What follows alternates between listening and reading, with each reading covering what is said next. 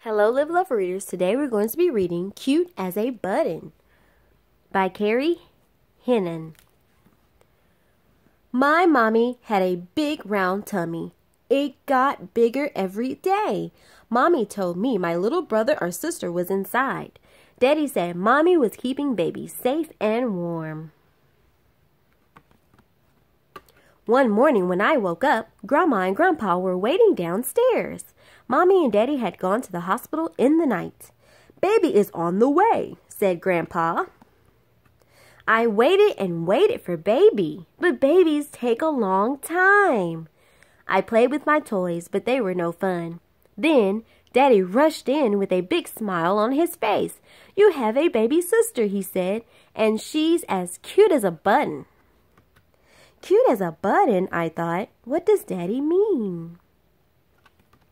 Later at bath time, Daddy played boats with me. He washed me with a sponge and lots of bubbles. I looked down at my belly button. Cute as a button, I thought. What does Daddy mean? The next morning at breakfast time, Daddy was talking on the telephone. He was smiling and laughing. She's as cute as a button, he said. Cute as a button? I thought. What does Daddy mean?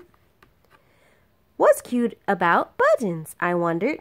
I looked at the buttons on the clothes in the laundry basket. They didn't look cute.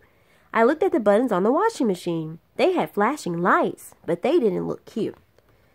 I looked at the television buttons. I pressed them all at once, and there was a funny noise, but they didn't look cute. Then I looked in Mommy's tin of buttons. There were lots and lots of buttons, all the all the colors of a rainbow. Maybe one of these buttons was cute, but none of them looked cute to me.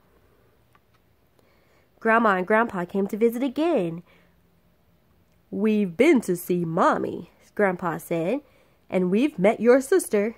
She's as cute as a button, Grandma said. Cute as a button, I thought. What does Grandma mean?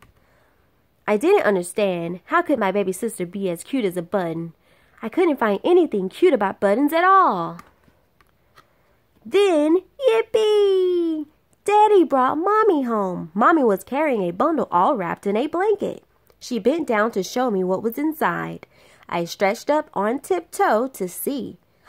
A tiny round face, big shiny eyes, soft dimpled cheeks. I smiled at my baby sister and said, You really are as cute as a button. The end.